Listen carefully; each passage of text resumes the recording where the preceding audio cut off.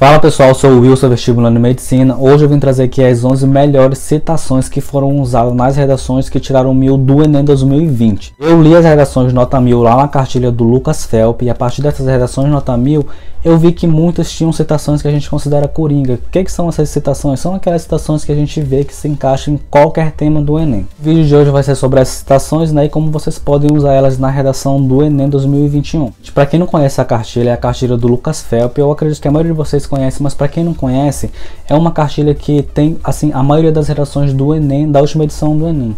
Ele coleta essas redações com esses estudantes que tiraram nota mil nessa última edição do Enem e ele monta uma cartilha.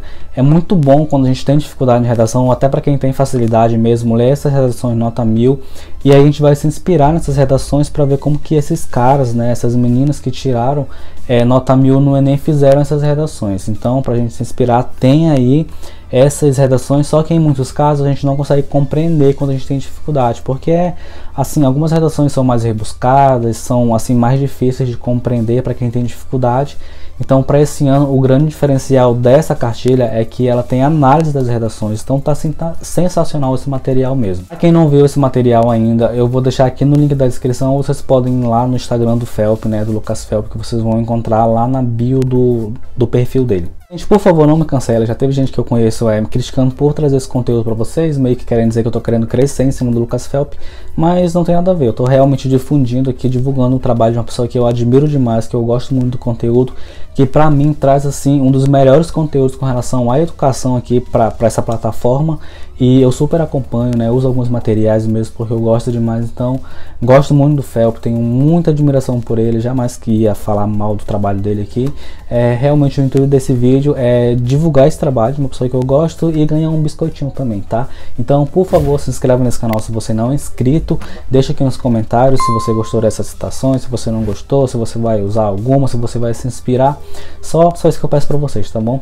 Primeira citação aqui, quem fez foi o Aécio Filho. Quem quiser ver como ele fez, basta ir lá na cartilha do Lucas Felp e ver como ele aplicou. Manuel de Barros, grande poeta pós-modernista, desenvolveu em sua obra Teologia do Traste, cuja principal característica reside em dar valor às situações frequentemente esquecidas ou ignoradas. Ele usou também o Gilberto de Mestai, para quem não sabe aqui, no meu modelo de redação que eu usei no Enem 2020 também, que eu tirei 980 pontos na redação, eu usei o de Mestai, mas ele fez de uma forma diferente. Ele usou no desenvolvimento, eu uso na introdução. Ele fez o seguinte: Gilberto de Mestai, em sua obra Cidadão de Papel, afirmou que a legislação brasileira é ineficaz, visto que, embora aparente ser completo na teoria, muitas vezes não se concretiza na prática. Gente, serve para muita coisa isso aqui. Também outra lenda, né? Camila Coelho, que usou de Mestai também, ela escreveu de uma forma diferente. Gilberto de Mestai, no seu livro Cidadão de Papel, no qual conceituou os cidadãos de papel, indivíduos cujos direitos condicionais não são garantidos na prática. De verdade, isso serve demais, então confia naquele modelo lá que muita gente usou tirando de Mestai, tá? Quem quiser ver como eu fiz, o link vai estar aparecendo para vocês aí. E o Alain Albuquerque usou, ele fala aqui que segundo esses filósofos que eu não sei pronunciar, o século XXI é dominado por uma sociedade do desempenho, na qual a individualidade é extremada em detrimento do altruísmo. Ana Beatriz falou o seguinte: Michel Foucault, a partir do conceito de normalização, definiu que há na sociedade a repetição de comportamentos sem a devida reflexão crítica dessa conduta. Gente, eu sempre falo sobre esse pensamento crítico, sobre essa autoanálise, né, sobre essa reflexão, então isso aqui serve demais. Confiem em mim que pessoas estão tirando, como vocês podem ver, nota mil usando esses conceitos. Gente, antes da gente continuar, eu vou indicar para vocês aqui a plataforma Repertório Oficial, que é a plataforma de redação que eu estou usando para as minhas correções esse ano. Lá no repertório, as redações são super bem corrigidas, né? Super detalhada mesmo as correções e além disso, a redação é corrigida com os padrões do Enem. As notas são super condizentes com o que o Enem realmente dá. Lá vocês podem mandar redações tanto com os temas que eles têm para oferecer lá, mas também vocês podem mandar temas livres pode mandar a redação de Enem anterior lá que eles vão corrigir para vocês sem problema algum. Além disso, a plataforma ela tem modelo de redação para vocês, ela tem citações lá que eles oferecem quando vocês vão fazer determinado tema tem um PDF lá que tem uma redação modelo pronto para vocês verem como que seria uma redação, né, uma sugestão para vocês não passarem batido. Para vocês não ficarem de fora, gente, usa o meu cupom de desconto WIL60 para vocês terem acesso a essa plataforma que vai sair por um preço super acessível. O link está aqui na descrição. Usa o WIL60 e vem escrever essa redação junto comigo para a gente tirar uma nota na redação desse Enem 2021. A Isabela Saraiva usou aqui a Simone de Beauvoir, não sei se estou falando certo, mas tá. Segundo Simone de Beauvoir, mais escandalosa que a existência de uma problemática é o fato de a sociedade se habituar a ela. Ou seja, gente, quando a gente se habitua a um problema, isso vira hábito, né? Como está falando aqui na citação. Então, o, o que a gente pode perceber é que o problema se intensifica, as pessoas não dão muita importância, né? Porque realmente virou um hábito e ninguém se importa. Então a gente pode problematizar em cima disso. Né? A Isabela Bernardes.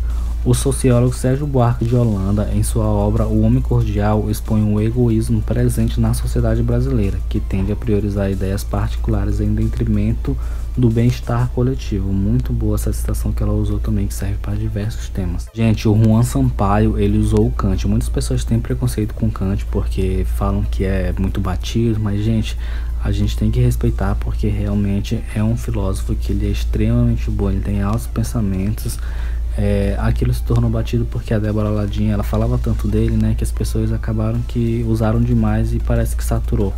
Mas a gente não pode negar que aquilo que ele falou é uma ótima citação, desde que você saiba desenvolver. E, gente, o Kant ele é, ele é perfeito, tem muitas citações dele que são ótimas também.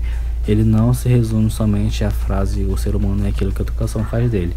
Aqui o Juan Sampaio ele falou o seguinte: Segundo o filósofo prussiano Emmanuel Kant, os indivíduos devem agir conforme o dever normalmente correto, levando em consideração a existência do outro e criando uma lei universal.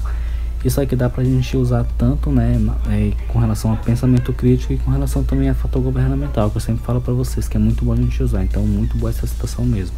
Cunha, ela usou o Lima Barreto. Ela falou o seguinte: na obra Os Brusandangas, o pré-modernista Lima Barreto já expunha que a existência das garantias constitucionais estava no âmago das problemáticas do Brasil. Aqui eu fiz uma pequena adaptação, porque ela escreveu de uma forma diferente, mas assim, só fiz uma paráfrase mesmo, é a mesma coisa, tá bom?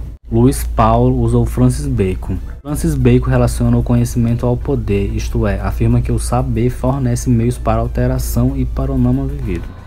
Então, gente, o vídeo de hoje foi esse. Eu espero que vocês tenham gostado. Eu tô aparecendo falando aleatoriamente aqui porque eu esqueci de gravar o final desse vídeo. Mas, por favor, se inscrevam no canal, não me cancelem. Aqui no canal a gente tem bastante vídeo sobre redação e Enem no geral. Eu espero vocês no próximo vídeo. Até mais, tchau. Se inscreva no canal, pelo amor de Deus.